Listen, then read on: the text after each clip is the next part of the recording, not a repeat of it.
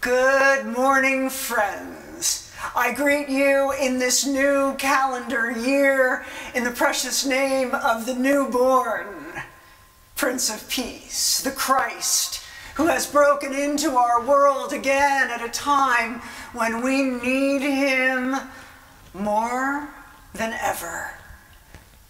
I greet you in that spirit this morning and in a different place. For this morning, you are uh, worshiping with us at home. We are worshiping virtually for two weeks because we believe in protecting all God's people. We believe that the holiday spike and peak may be very, very real. We believe in protecting the medical community. We believe that it was the right decision to make. And so on this Sunday morning, or whenever it is that you decide to worship with us, we greet you in a spirit of God's wisdom that is a part of who we are as faithful people. I would ask you at this time, if you are not prepared, to push pause on your worship service and set your table to be fed this morning, this afternoon, this evening, to join us and be fed by the one who is the bread of life. And so we do. With our tables now set, take a moment to breathe, inhale and exhale, and receive the love of God. Know that the Spirit is alive and at work in us, infusing us. Know that in this time set aside for God, for celebration and for gratitude to be sung, know that in this time forgiveness can happen. Love is realized, grace is claimed. Know that we, as we gather and breathe and pray and sing and hear the word of God proclaimed week in and week out, morning by morning, we are together in the community of God's people where we are stronger and wiser. Together, let us worship the Lord our God.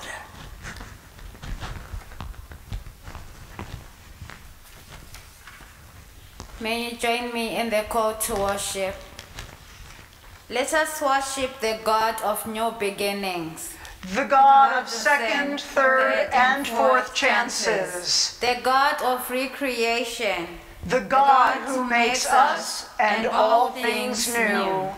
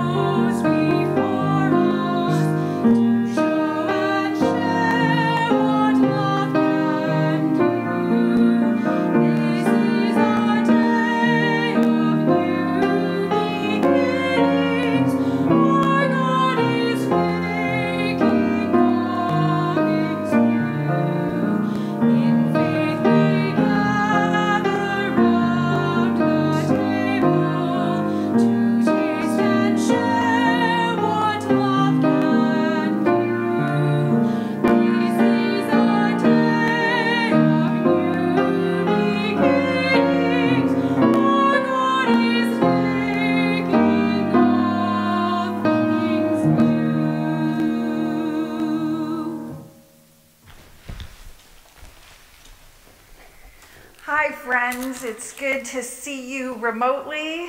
I'm glad that we get a chance to be together on this first Sunday here at worship. Wherever you are, I hope you're having a beautiful day. So, I don't know about you, but I get a little crabby after Christmas and after New Year. It seems like, I don't know, all this excitement's gone. And I always felt this way, even when I was really little. So my father, in order to cheer me up, would get me a huge pile of special magazines to look at. They're called seed catalogs. And he would save his seed catalogs that came in all of December so that after we took our Christmas tree down, I would have something to look forward to and we would sit for hours at the dining room table planning our gardens. And it may not sound that exciting, but you got to look at all the flowers, and he let me cut them up and paste them in on his charts and figure out what we were going to grow and how we were going to have them and think about what was going to appear in the early summer and what was going to appear in the later summer. So I started doing that last night. I got out my seed catalogs and I even have some seeds ready. And I'm thinking, I love this particular seed because not only is this seed basil, but it gives me a recipe for the pesto I can make. So I'm already thinking about what I'm going to eat.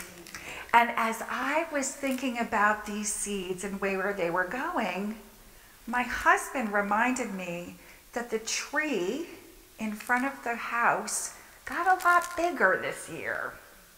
And that I might not have as much sun where I had sun last year. So even though I plan my garden every year, I have to think about what's different this year. And I think sometimes we have to think about that for all parts of our life. You're going to go back to school this week, and it's going to be different than it was in September. You're going to be on, on your screens again. But it's still an opportunity to do something new, to plant a seed of something new and grow something that maybe didn't grow last year or that you didn't plant in the same place. And I'm thinking, I'm going to plant some seeds this year in my heart as well as in my garden. And maybe you can do it too. I'm going to plant my seed of listening. Some of you might want to plant a seed of sharing or kindness or anybody have a seed idea? Hope. Hope. That's a great seed idea. And I'm going to plant that seed now of listening. And every day I'm going to try to take care of it, to make it grow a little bit, to make it expand, maybe even do some pruning of it and listen really closely so that I can be a better listener this year. My new beginning is going to be a little different than it was last year, just like my plants are going to be in a different place than they were last year. But they're all going to grow because I'm going to take care of them and I'm going to make sure that I pray over them and I know that I'm going to listen. Are you going to plant a seed for me this week? I hope you do. Think about what new thing you're going to grow in your heart. And I'm going to think about what I'm going to grow in my garden and in my heart and start taking care of it. Amen? Amen. Amen.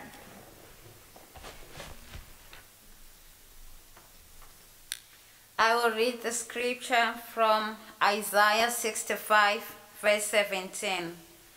For I am about to create new heavens and new earth. The former things shall not be remembered or come to mind, but be glad and rejoice forever in what I am creating. For I am about to create Jerusalem as a joy and its people as a delight. Inspires word for the people of God. Thanks, be to God. We have just a few announcements this week, and one primary one, which is we're going to be online, but doesn't mean we're not gathering. Our um, Companions in Faith group will meet this Thursday online. They have a new book study. You can take a look at that. Uh, it's called Boundless um, Compassion. And I hope you'll join us if you're ava- available on Thursday morning uh, for a beginning. You don't have to read anything before you come. Similarly, next Sunday, our groups will meet online. Um, there's links in the e-blast for uh, the Zoom, so you can get onto the adult discussion. The uh, confirmation class will meet online, and Sunday school will gather online as well. So take a look for those Zoom links in your e-blast so that we can gather again, even virtually, and stay connected this week. Great. And thank you so much. And we will uh, continue to ask you to continue to support the gifts of Morrow. Uh, just when we began to pass an offering plate again, uh, we are now asking that you would remember to make your gifts online or send a check or write those checks for these two weeks and bring them in uh, a couple of Sundays from now, and we will always give thanks to God uh, for you and your dedication and your commitment. We will honor the fact that we are putting God at the head of our households, and we will give thanks for every gift that is given for the mission and ministry of Jesus Christ lived out. Really, really, really lived out at Morrow Church. Praise God from whom all blessings flow.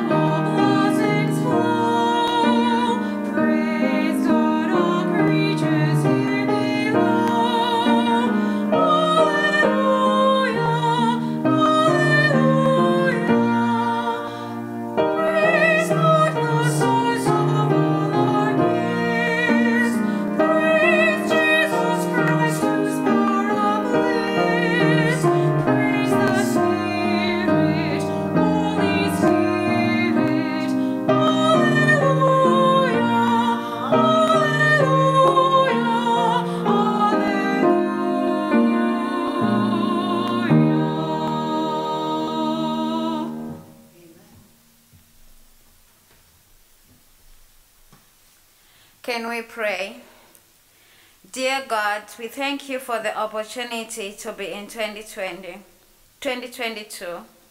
We thank you for being with us through 2021. Though we faced different situations, you helped us through. We thank you for your love and mercy that I know every morning. We thank you for your protection and your guidance. We thank you for being with us through the holidays where we got to meet family and friends. We are grateful for this year. May we remember this year that you are with us and you are for us. May we remember that our strength comes from you and we cannot fight challenges on our own. We need you, God, and we need you every day. As we are in the new year, we pray for the healing of the world from the COVID 19 and the new variants which keep coming. We, keep, we pray for the healing and we pray for peace to rule in this world and your love to lead in this world. We pray for those who had the doors of the church closed before them because of the differences that we have. And we pray that the doors may be open to everyone so that we can all pray to you with love and in spirit. May you mend all the broken families and the broken friendships. May you protect us from harm. And we also pray for children. May you be with them. There are some children who are abused in all forms in this world. May we be able to advocate for them. May we be able to stand for them and may we be able to teach them to grow in love so that all the generations to come, they keep knowing that it is the love that lead. May you heal all those who are sick and may you comfort all those families who lost their loved ones, their properties, and who lost their health. We believe in you, God, that you are with us and in all the circumstances, in all the situations. Sometimes they may be painful, but it does not mean that you have forsaken us. May we always remember that in everything that we face in this life. We love you, God, and we need you. In the name of Jesus Christ, who taught us to pray. Our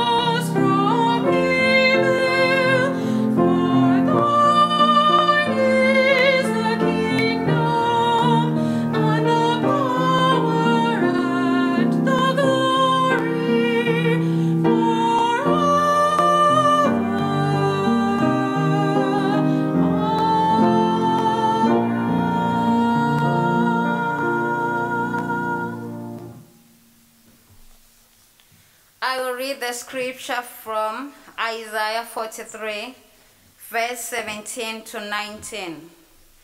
I am the Lord, your Holy One, the Creator of Israel, your King. Thus says the Lord, who makes a way in the sea, a path in the mighty waters, who brings our chariot and horse, army and warrior. They lie down, they cannot rise.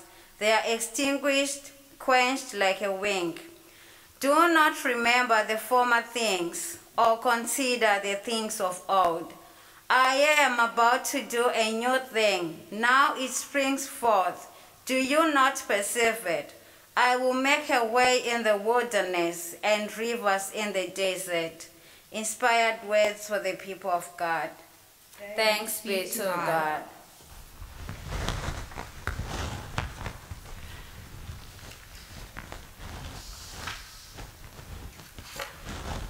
Greetings again, my friends.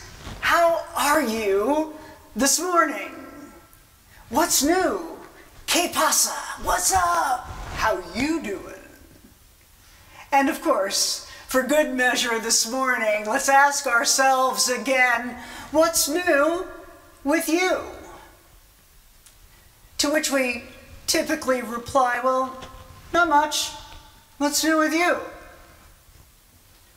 I think there are plenty of things that are new that we need to ponder, that we need to claim and celebrate together, share with one another. And throughout the scriptures, there are many things that are new throughout the text.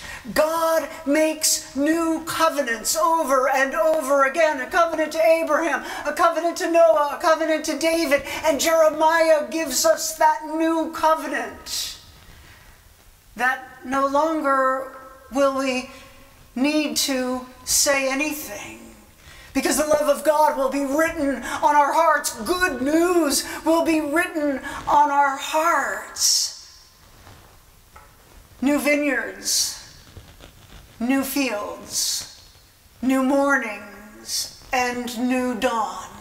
Jesus speaks about new wine, fruit of the vine, and new wine skins. And the letters tell us that we are the new creation. There is much that's new today, much that we can ponder. So, what is new with you? What new thing is God doing for you? What new thing is God doing in us? Is there something you'd like to name this morning, this afternoon, before bedtime, that you would like God to do that's new for you?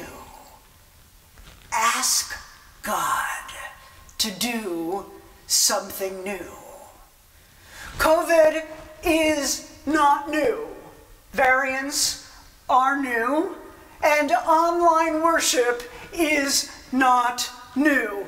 But our new technology and our new ways of knowing how to do this work is new and something to celebrate that makes it easy for us to share our worship with our friends and family. The click of buttons to send a message that needs to be heard is new. The ability for us to bear witness to God's love in our lives has been made very simple.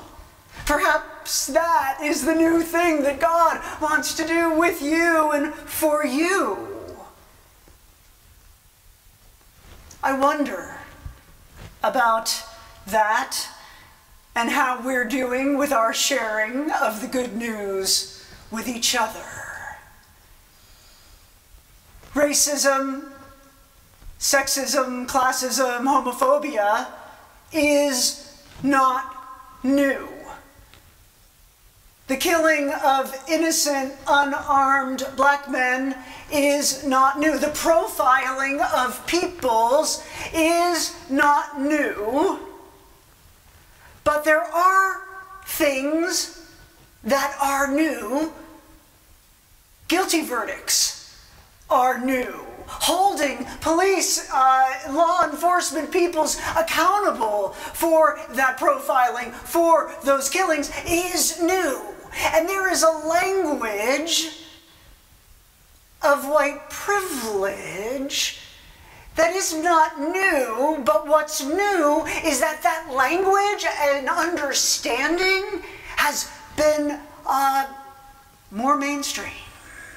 You don't have to go to a special college to learn about these things. We're now talking about white privilege. We're now talking about white fragility. And this is a new thing that God is doing, wants to do with us and through us for the world.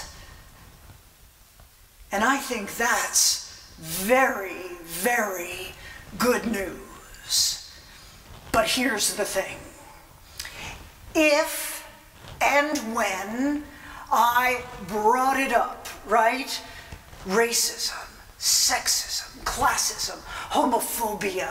When I bring up racism, there is a moment for people who say, Oh Lord, here we go again. What, why are the politics being brought into the church and why do we have to continue to speak on these things? And that, if you had a moment, and we are all guilty of these moments. But these moments in us demonstrate perfectly and are our first clues to our own white fragility. The privilege that we have to decide whether or not we talk about these things.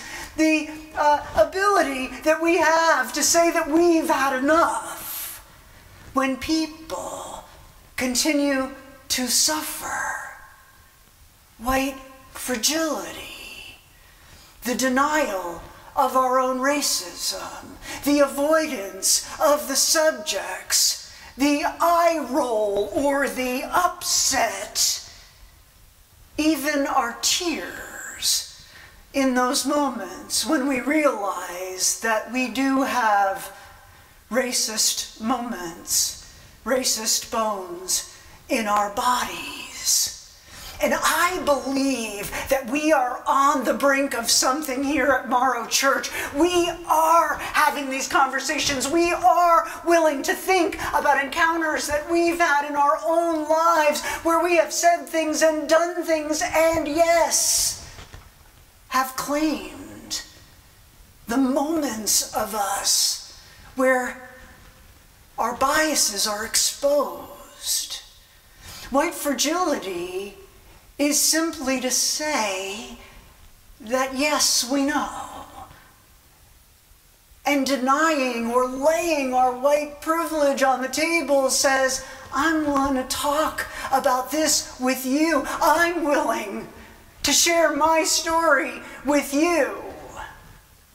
Day in and day out, and not avoid those tough conversations. I believe that this is a new thing that God is doing and wants to do, and that we should be willing. We should not resist the harder conversations. We should live into our baptismal vows to resist evil and injustice and oppression in whatever forms they present themselves.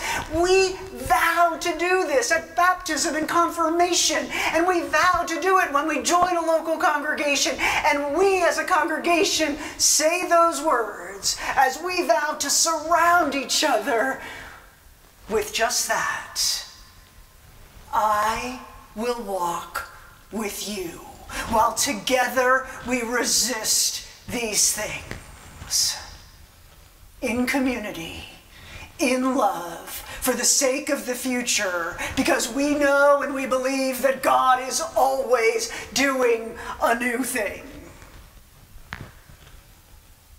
And as we lead ourselves into 2022, there is another thing that is absolutely new. This year, we were able to receive vaccines. We were able to receive boosters. And that is new. A new thing done by God's people who research and study and understand mutations and who know what's needed in bodies to keep us as well as possible. People are still dying, but far fewer.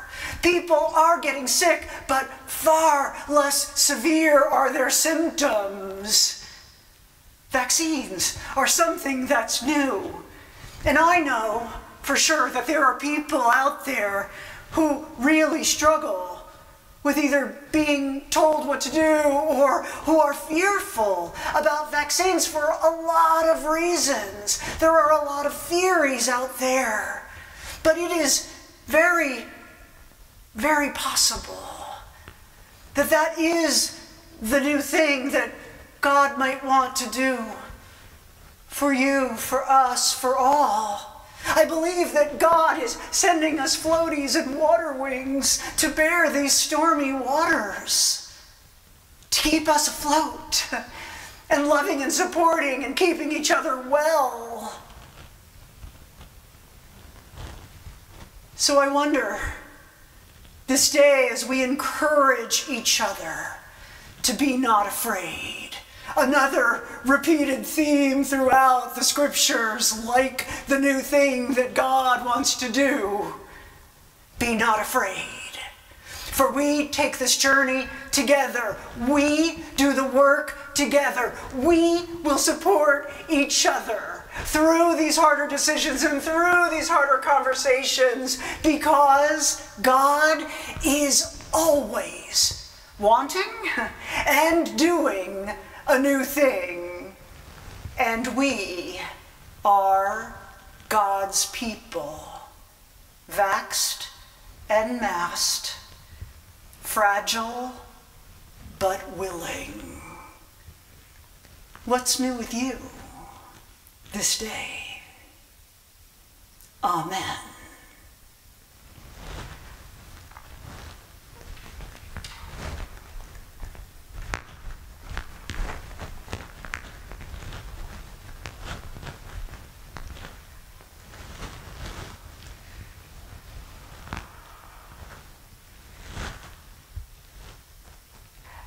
As we gather on Sunday mornings and as we uh, gather the first Sunday of the month at Morrow and every week at 8:30, we are reminded that Jesus, when facing uh, his greatest fear,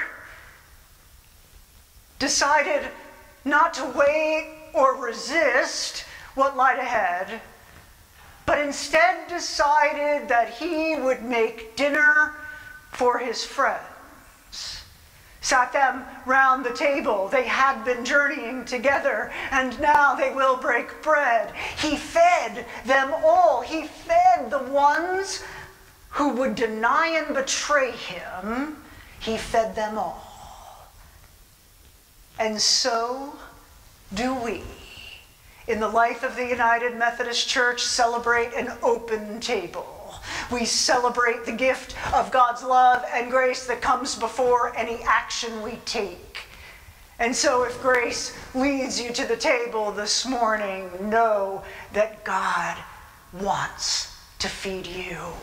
The Lord be with you and also with you. Lift up your hearts. We lift them up to the Lord. Let us give thanks to the Lord our God. It is right to give our thanks and praise. It is right and a good and a joyful thing, always and everywhere, to give thanks to you, Almighty God, creator of heaven and earth. And so, with your people here on earth and all the company of heaven by our side, can you feel them?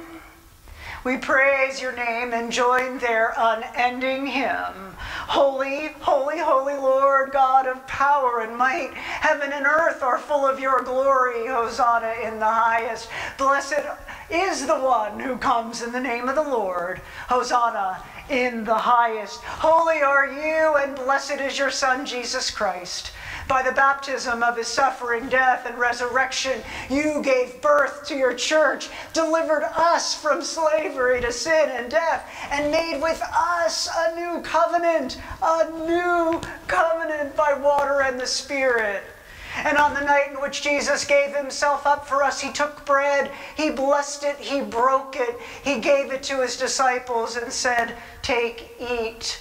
This is my body that's been given for you. Do this in remembrance of me. And when the supper was over, he took the cup, gave thanks to you, O God, gave it to his disciples, and said, Drink from this, all of you. This is the cup of the new covenant that's been poured out for you and for many for the forgiveness of our sins. Do this as often as you drink it in remembrance of me.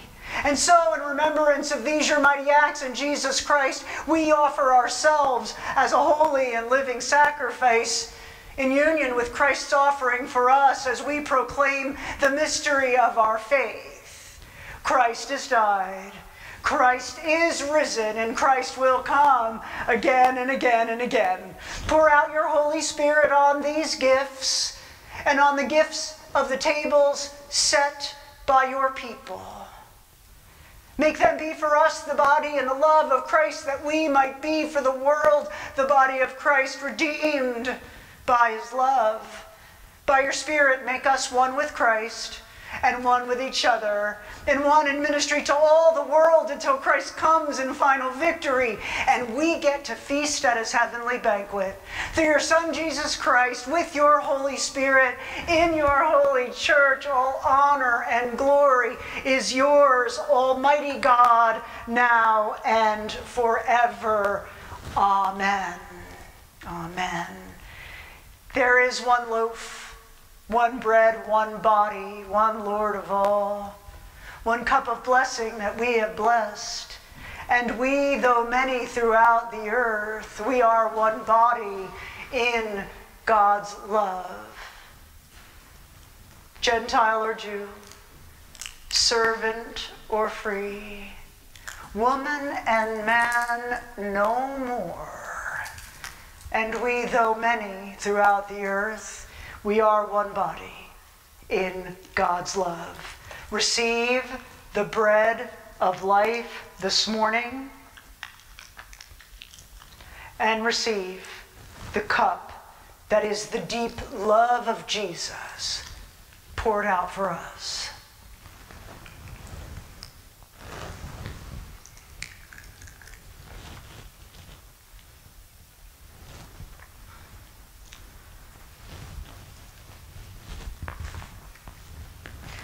Let us pray.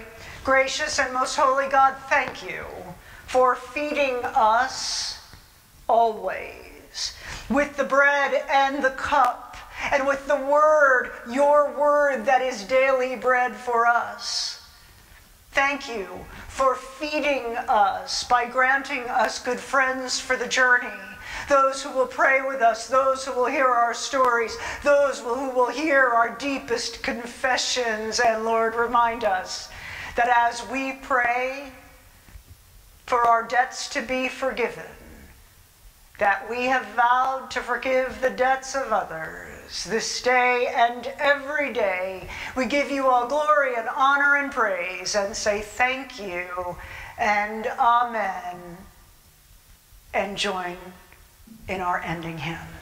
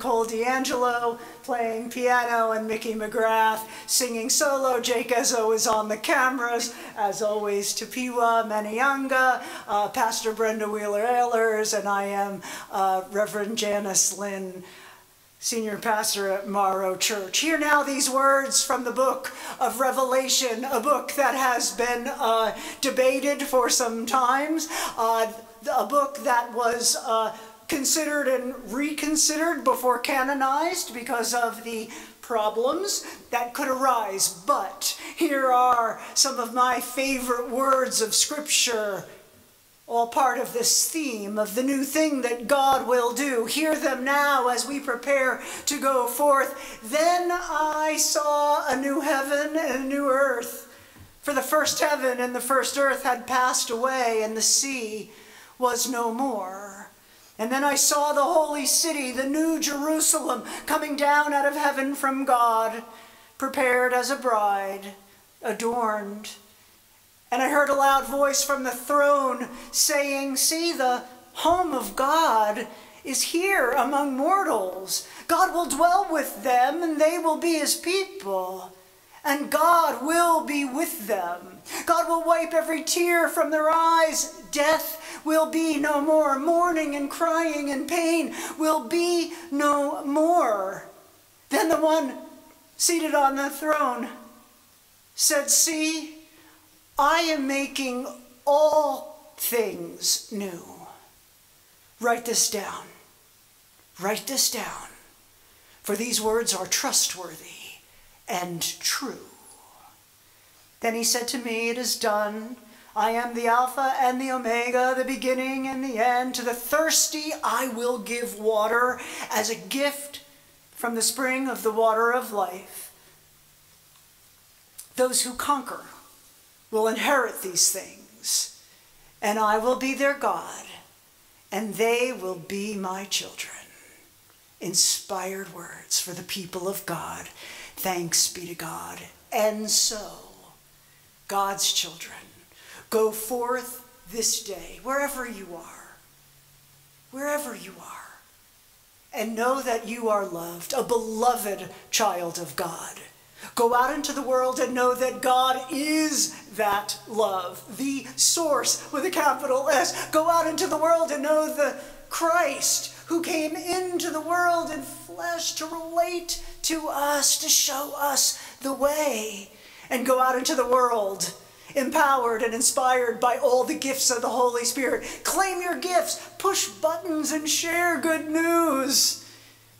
Go out in the name of the one who is creator and redeemer, and the one who will sustain us for all time.